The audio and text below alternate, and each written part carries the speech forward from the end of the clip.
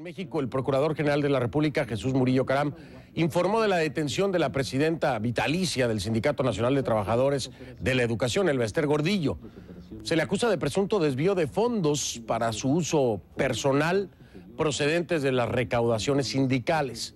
Las autoridades calculan que las operaciones ascienden a 2 mil millones de pesos, unos 157 millones de dólares, alrededor de esa cifra. Murillo Caram explicó que la Unidad de Inteligencia Financiera de la Secretaría de Hacienda y Crédito Público habría detectado las operaciones inusuales en las cuentas bancarias del sindicato. Dijo también que de 2008 al 2011 se desviaron recursos de cuentas de trabajadores de la educación a cuentas de personas físicas y que se encontraron cuentas beneficiadas a nombre de Nora Guadalupe Ugarte, Isaías Gallardo y José Manuel Díaz Flores. El dinero de los trabajadores de la educación, dijo el procurador, fue usado para pagar una tarjeta de crédito a nombre de Elba Esther Gordillo.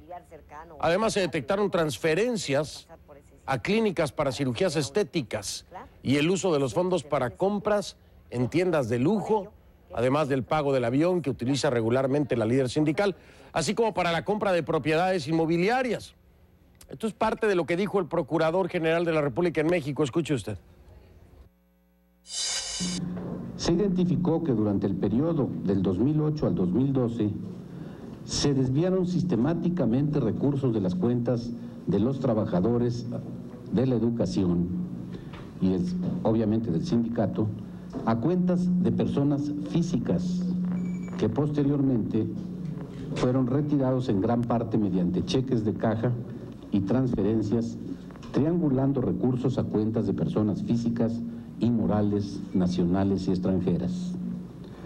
Tres personas físicas concentraron la mayor parte de los referidos recursos. Nora Guadalupe Ugarte Ramírez, Isaías Gallardo Chávez y José Manuel Díaz Flores. Ninguno de ellos estaba autorizado legalmente para el manejo de las cuentas del sindicato y además los tres utilizaron cuentas personales ajenas al sindicato.